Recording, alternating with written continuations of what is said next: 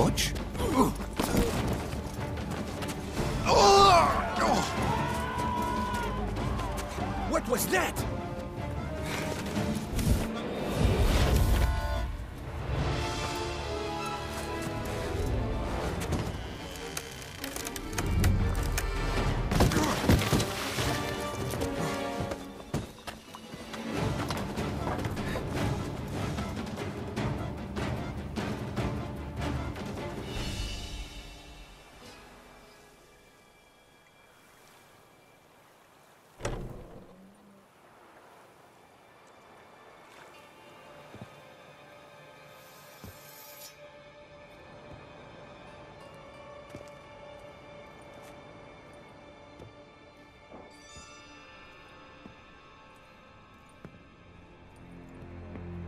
I'm here.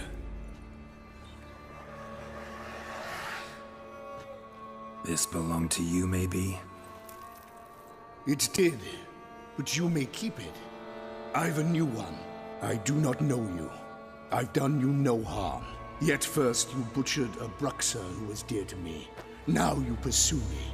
Why? You've killed four innocent people, at least. And you? How many innocents have you cut down? I don't kill innocents.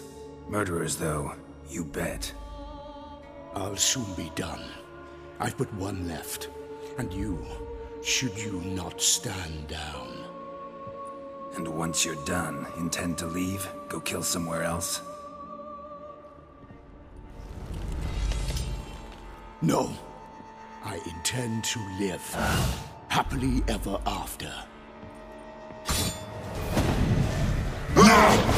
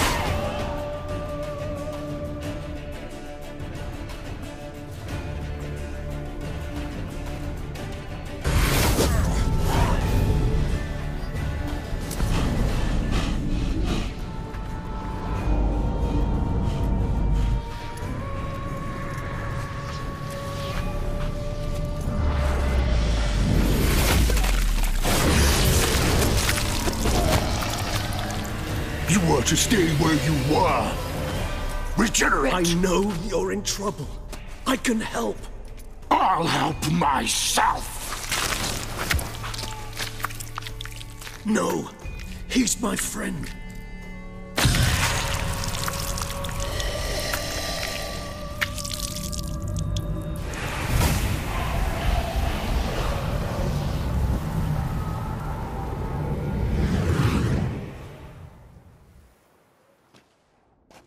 Yes, Geralt, it's me.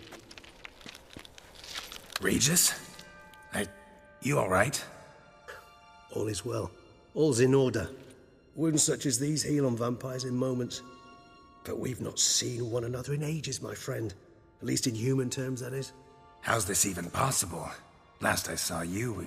I was a bubbling, shapeless smear, having been rather spectacularly melted into a column of a certain castle. In somewhat better shape now, as you can see. Hardly peak form, mind you, but were I human, folk would think me a demigod, I dare say. I'm sorry. What happened, it was my fault.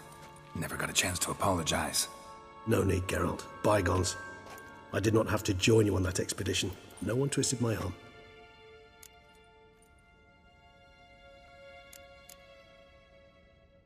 Miraculous regeneration. How do you manage it? I had help. From the one you hunt. Him? How? And what have you been doing all these years? Not the time nor place for such stories. I suspect we'll get a chance to speak at ease and at length later. Now, however, we must deal with the reason that brought us both here.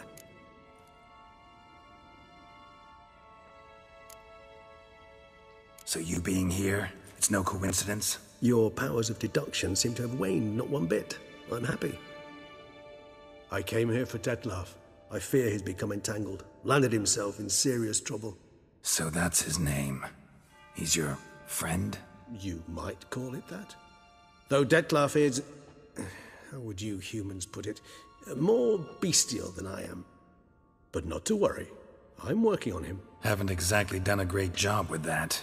He's killed one knight since I got here, at least three others before I arrived. For good reason, I'm sure. Understand, Dettlaff is not some decadent shit who kills for sport, or to assuage a dryness of throat or a dullness of mood.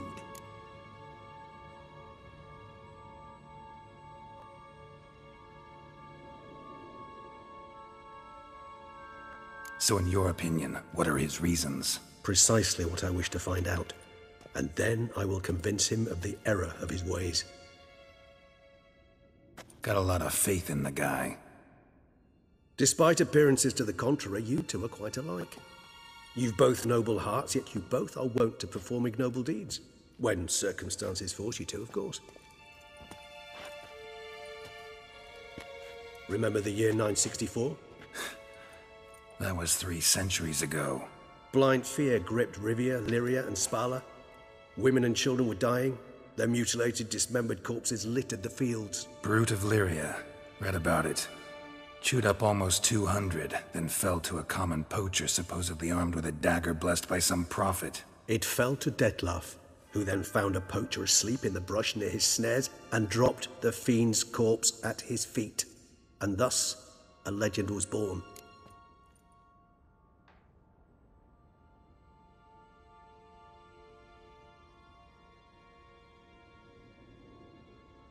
Huh. Vampires rarely help humans.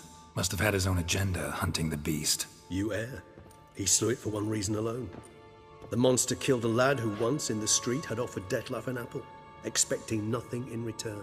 Terribly noble of him. You do not have a monopoly on altruism, my friend. Vilgefortz melted my body. Dettlaff found what was left. As per our codex, he had a choice to leave me where I was or to care for me and nurture my remains. He chose the latter, regenerated me at no small expense in his own blood. Do you know what that means to a vampire? The gravity of the endeavor? Probably same thing it means to a human. You owe him your life. Much more than that. The act itself made us blood brethren. A bond so strong humans cannot even imagine. Which is why I know something ill is afoot. Always had an overdeveloped sense of empathy. Each vampire has a unique talent, one they hone over centuries. It's precisely what renders us so difficult to classify. Dettlaff's trump card is his herd instinct, his tribal propensity. In point of fact, he prefers the company of lesser vampires and shuns that of humans. If he walks among you, killing egregiously, it can only mean something's upset him immensely. Anything specific? Some set of things that'd be likely to set him off? How should I say this? Dettlaff doesn't understand men, their world, its rules, its conventions. He's naive in a sense. He doesn't comprehend your games, knows not what it means to lie, deceive. Suggesting he's maladjusted, inventing his rage. I'm suggesting maladjustment can at times breed conflict. But is it the case this time? I cannot say, but intend to find out. Gotta find him, before something upsets him even more, and all Beauclair is awash with blood. Well, we share a cause then, just like the old days. Not entirely. I mean, when I find him, you know. I know you've a contract on his head. Yet your true task is to stop the beast killing, not necessarily to kill the beast, am I right? All in all, sure. Let us find him. By the time we do, I hope I'll have convinced you Dettlaff is no monster. Fine, all right already. But for now, evidence is stacking up against him. Hear that? The posse. Knights must have tracked me here. I'd prefer they not find me here. I'd makeshift quarters at Mère Lachaise Long Cemetery. We'll meet there. See you.